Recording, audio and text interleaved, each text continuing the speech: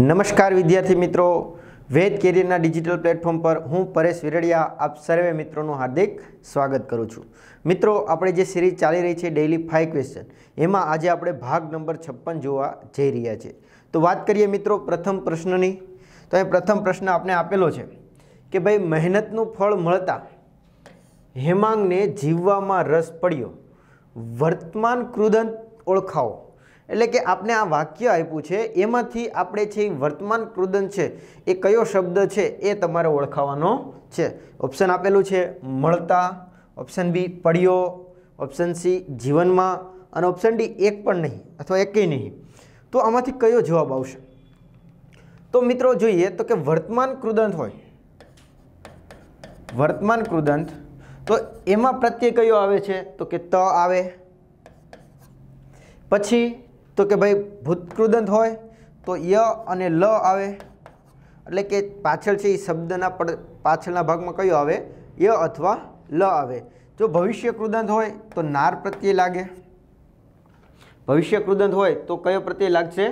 તો કે નાર પ્રત્યે લાગશે. પછી સામાન્ય અથવા વિદ્યાર્થ પ્રત્યે હોય, તો વ પ્રત્યે લાગે. પછી જોવા જઈએ, તો કે ભાઈ સંબંધક ભૂતકૃદંત હોય તો કે ઈ અને ઈને લાગે. અને છેલ્લો હેતવર્ક કુદંત હોય તો વા અને વાને પ્રત્યે લાગે. તો આ રીતના આપણા કૃદંત કેટલા છે? તો કે છ છે. એમાં વર્તમાન કૃદંત હોય તો કયો પ્રત્યય લાગશે? ત. તો આપણે એમાં જોઈએ તો કે ત શબ્દવાળો કયો પ્રત્યય છે? તો કે ભાઈ મળતા. એટલે કે ઓપ્શન એ આપણો સાચો જવાબ બને. પણ બીજા જોઈએ તો કે બીજા ભૂત કૃદંતમાં કયા કયા હોય? ય અને લ પ્રત્યય હોય. ભવિષ્ય કૃદંતમાં શબ્દના પાછળ છેડે કયો હોય? નાર. એટલે કે જમનાર, રાંધનાર.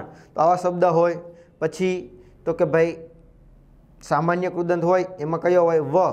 સંબંધક હોય, ઈ અને ઈને પ્રત્યે લાગે. અને હેતવર કૃદંતમાં કયો લાગે? તો કે વા અને વાને.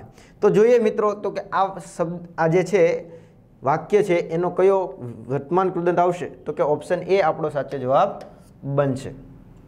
આગળ જોઈએ મિત્રો બીજો પ્રશ્ન જોઈએ, ગુજરાતી સાહિત્યની કઈ કૃતિ અરેબિયન નાઇટ્સ તરીકે ઓળખાય છે? એટલે કે આ જે ગુજરાતી સાહિત્યની જે રચનાઓ છે, એમાંની કઈ કૃતિ છે એ અરેબિયન નાઇટ્સ તરીકે ઓળખાય છે? ઓપ્શન એ સુડા બોતેરી ઓપ્શન બી સિંહાસન બત્રીસી, ઓપ્શન સી રૂકમણી હરણ અને ઓપ્શન ડી સુદામા ચરિત્ર. તો કોની છે મિત્રો? તો પહેલાં તો કે આ સિંહાસન બત્રીસી છે, એ અરેબિયન નાઇટ્સ તરીકે ઓળખવામાં આવે છે. હવે આ કૃતિ છે એ કોની છે? તો કે આ કૃતિ છે એ સામળની છે. કોની છે? સામળની હવે એમાં કહેવાય છે સિંહાસન બત્રીસી. એમાં છે કુલ નાની નાની બત્રીસ વાર્તાઓનો સમાવેશ કરવામાં આવ્યો છે. આ સિવાય મિત્રો સામળ વિશે વાત કરીએ તો કે એમને પ્રથમ વાર્તાકાર કહેવામાં આવે છે. શું કહેવામાં આવે છે? પ્રથમ વાર્તાકાર તરીકે ઓળખવામાં આવે છે. અને આ સામળનો જન્મ છે એ ક્યાં થયો હતો અમદાવાદમાં એમનો જન્મ થયો હતો. એટલે કે અમદાવાદમાં એમનો જન્મ થયો હતો અને એને શું કહેવાય છે? તો કે પ્રથમ વાર્તાકાર અને ગદ્ય વાર્તાના પિતા તરીકે પણ કોને ઓળખવામાં આવે છે? તો કે શામળને ઓળખવામાં આવે છે. આ સિવાય સુડા બોતેરી પણ એ પણ કોની છે? તો કે શામળની જ કૃતિ છે. અને આ સિવાય પદ્માવતી જે પણ કૃતિ, પ્રથમ કૃતિ છે એ કોની હતી? તો કે શામળની હતી. આ સિવાય રૂકમણી હરણ અને સુદામા ચરિત્ર. એક કૃતિ છે એ કયા કવિની છે? સાહિત્યકારની છે. તો કે ભાઈ નર્સ પ્રેમાનંદની છે એ કૃતિ આ બંને છે, રૂકમણી હરણ અને સુદામા ચરિત્ર. તો મિત્રો આ સિવાય, પ્રેમાનંદ સિવાય બીજા કયા સાહિત્યકારની કૃતિઓ પણ આ રૂકમણી હરણ અને સુદામા ચરિત્ર છે એ તમારે કોમેન્ટ બોક્સમાં જણાવવાનું છે. આગળ જોઈએ મિત્રો પ્રશ્ન નંબર ત્રણ. કે ભાઈ Amrita Devi Bishnoi national award Amrita Devi Bishnoi national award કોના સંરક્ષણ માટે આપવામાં આવે છે? ઓપ્શન એ જીવાવરણ. ઓપ્શન બી વન્યજીવો. ઓપ્શન સી મૃદાવરણ. અને ઓપ્શન ડી પર્યાવરણ. તો શું આવશે જવાબ મિત્રો? અમૃતા દેવી બિશ્નોઈ નેશનલ જે એવોર્ડ છે એ કોના આપવામાં આવે છે? તો કે વન્યજીવોના સંરક્ષણ માટે આપવામાં આવે છે. હવે આ શું ઘટના હતી અથવા કોના માનમાં આપવામાં આવે છે? તો કે આ છે, એ બિશ્નોઈ જાતિના જે અમૃતા દેવી છે, એમના વડપણ હેઠળ જે ગામ ઘટના બનેલી અને એના આધારે આ વન્યજીવોના સંરક્ષણ માટે, રક્ષણ માટે આ એવોર્ડ આપવામાં આવે છે. વાત છે મિત્રો સત્તરસો ત્રીસની વાત છે. કઈ સાલની વાત છે? તો કે સત્તરસો ત્રીસની, જેમાં ત્રણસો ત્રેસઠ વ્યક્તિઓ છે શું કરે છે? તો કે ભાઈ, મેઘપુરના જે રાજા હતા, એમના મહેલના નિર્માણ માટે છે એ શેનો જરૂર હતી? તો કે લાકડાઓની જરૂર હતી. તો એ લાકડાઓ લેવા માટે છે એ જંગલોમાં સૈનિકો છે એ જાય છે અને વૃક્ષો કાપતા હોય છે. તો કે આ અમદ, અમૃતા દેવીના અધ્યક્ષસ્થાન હેઠે આ ત્રણસો ત્રેસઠ લોકો છે એ શું કરી લે છે? તો કે વૃક્ષોને ભેટી પડે છે.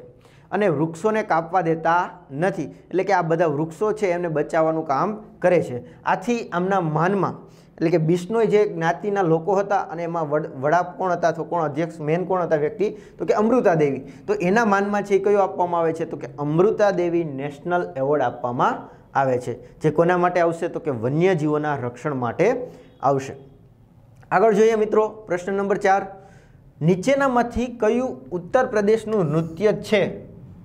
Option A Kathak, option B Manipur, option C Odissi અને ઓપ્શન ડી કથકલી તો જોઈએ મિત્રો, આ ઉત્તર પ્રદેશનું કયું નૃત્ય છે? તો કે ભાઈ કથક છે એ કોનું નૃત્ય છે? તો કે ઉત્તર પ્રદેશનું નૃત્ય છે. હવે મણિપુર, તો મણિપુરનું કયું નૃત્ય છે? તો કે મણિપુરી. જે નામ ઉપરથી જ છે, એટલે આપણે સરળતાથી યાદ રહી જશે. આ ઓડિશી નૃત્ય છે એ કોનું છે? તો કે ઓડિશાનું છે. અને કથકલી છે એ કેનું છે? તો કે કેરળનું છે. કેનું છે? કેરળ.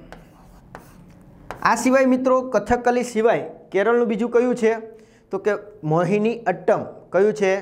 મોહિની અટ્ટમ. અને આ સિવાય કુચીપુડી નૃત્ય છે એ કોનું છે? તો કે ભાઈ આંધ્રપ્રદેશનું છે. કુચીપુડી કયા રાજ્યનું નૃત્ય છે? તો કે આંધ્રપ્રદેશનું છે. અને મિત્રો મહત્વનું નૃત્ય ભરતનાટ્યમ. આ ભરતનાટ્યમ છે એ કયા રાજ્યનું નૃત્ય છે? એ તમારે કોમેન્ટ બોક્સમાં જણાવવાનું છે. ફરીથી એક વખત રિપીટ કરી લઈએ. તો કે ઉત્તર પ્રદેશનું કયું નૃત્ય છે? કથક નૃત્ય છે? મણિપુરનું મણિપુરી નૃત્ય છે? ઓડિશીનું ઓડી ઓડિશી છે એ કોનું નૃત્ય છે? તો કે ઓડિશાનું છે. કથકલી છે એ કેનું નૃત્ય છે? કેરળનું છે. અને આ સિવાય કેરળનું બીજું કયું નૃત્ય જાણીતું છે? તો કે ભાઈ મોહિની અટ્ટમ જાણીતું છે. પછી કુચીપુડી છે એ નૃત્ય કેનું છે? તો કે ભાઈ આંધ્રપ્રદેશનું છે. અને આ ભરતનાટ્યમ નૃત્ય છે. એ કયા રાજ્યનું છે? એ તમારે કોમેન્ટ બોક્સમાં જણાવવાનું છે. આગળ જોઈએ પ્રશ્ન નંબર પાંચ જોઈએ. અશોકના સ્તંભ લેખોની સંખ્યા જણાવો. ઓપ્શન એ આઠ ઓપ્શન બી સાત ઓપ્શન સી છ અને ઓપ્શન ડી નવ. એટલે કે જે અશોકને સ્તંભ લેખો કોતરાવેલા છે શિલાલેખો કોતરાવેલા છે અને ગુફાલેખો કોતરાવેલા છે. તો એમાંથી આપણે શું પૂછેલું છે? તો કે આપને અહીંયા પૂછેલું છે કે સ્તંભ લેખોની સંખ્યા જણાવો. એટલે કે જ્યારે ઈસવીસન પૂર્વે બસો એકસઠમાં જ્યારે અશોકના હૃદયનું પરિવર્તન થયું એટલે કે જે કલિંગનું યુદ્ધ થયું હતું અને એ ઘટનાથી એટલી દયનીય સ્થિતિ થઈ હતી, આથી અશોકનું શું થયું હતું? હૃદય પરિવર્તન. અને આ અંતર્ગત એમણે છે શું પ્રતિજ્ઞા લીધી હતી? તો કે આજ પછી શસ્ત્ર દ્વારા માણસ વધ કરીશ નહીં. અને આ પ્રતિજ્ઞા અંતર્ગત એમણે ધર્મના ફેલાવા પાછળ છે એ કામ કર્યું હતું. તો એ અંતર્ગત એમણે અલગ અલગ શિલાલેખો, ગુફાલેખો અને સ્તંભલેખો કોતરાવ્યા હતા. તો આપણે એ જોઈ લઈએ મિત્રો. તો કે એમણે કેટલા શિલાલેખો કોતરાવ્યા હતા? શિલાલેખ એટલે પથ્થરમાંથી પથ્થરમાં લખાયેલો લેખ. તો એમની સંખ્યા છે ચૌદ. કેટલી છે મિત્રો? ચૌદ છે. પછી સ્તંભલેખની વાત કરીએ. સ્તંભલેખ. કે એમની સંખ્યા છે ચાર છે, સાત છે અને ગુફાલેખ. કે જેમની સંખ્યા ત્રણ છે. એટલે કે અશોકે જે શિલાલેખ કોતરાવ્યા, કેટલી સંખ્યા છે એમની? ચૌદ છે. સ્તંભલેખ કેટલા કોતરાવ્યા છે? સાત છે. અને ગુફાલેખ કેટલા કોતરાવ્યા છે? ત્રણ. તો આપણો અહીં સવાલ શું છે મિત્રો? તો કે ભાઈ સ્તંભ લેખોની સંખ્યા જણાવો. તો શું આવશે મિત્રો જવાબ? તો કે ઓપ્શન બી આપણો સાચો જવાબ આવશે. એટલે કે અશોકના સ્તંભલેખ કેટલા છે? તો કે સાત એમના સ્તંભલેખો છે. અને શિલાલેખ તો કે ચૌદ છે અને ગુફાલેખ કેટલા છે? તો કે ત્રણ છે. હવે મિત્રો, આમાંથી જે સ્તંભલેખો છે, એમાં મહત્ત્વનો છે કયો સ્તંભ છે? સ્તંભલેખ છે એ તમારે કોમેન્ટ બોક્સમાં જણાવવાનું છે. તો મિત્રો, આ વિડીયોમાં આપણે આટલું રાખીશું. જય હિન્દ, જય ભારત, અસ્તુ.